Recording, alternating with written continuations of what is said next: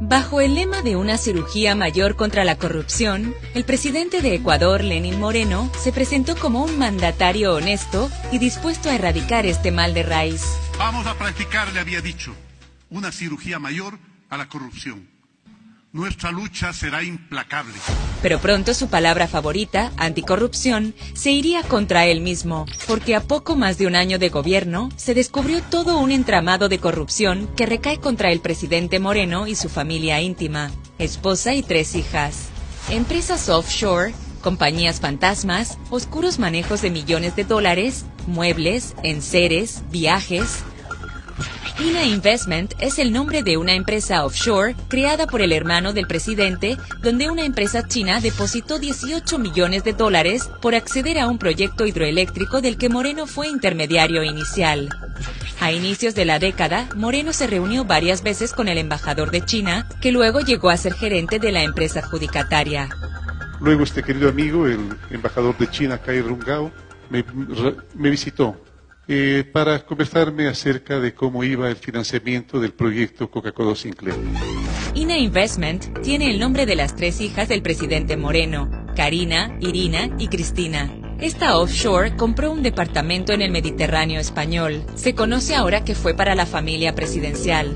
He viajado cruzando el charco más de 10.000 kilómetros solamente para demostrarle la vida de lujos que está llevando la familia Moreno a costa de los dineros de las coimas de Sinoide.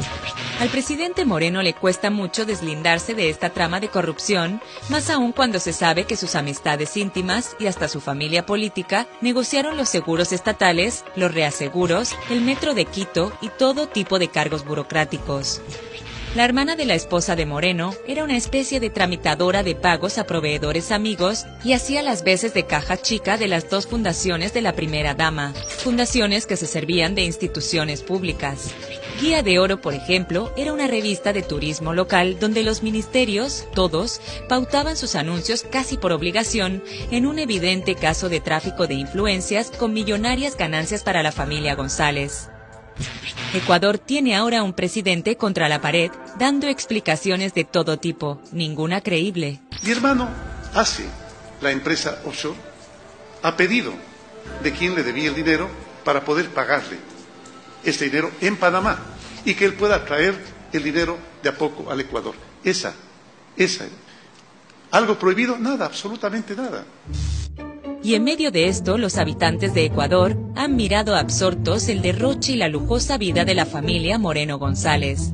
Una filtración de documentos y fotografías dejó expuesta la insultante ostentación del núcleo familiar del presidente, quien en represalia ha hecho detener a un joven informático sueco afincado en Ecuador y ha entregado a la policía británica al periodista Julián Assange, asiliado políticamente por el Estado ecuatoriano.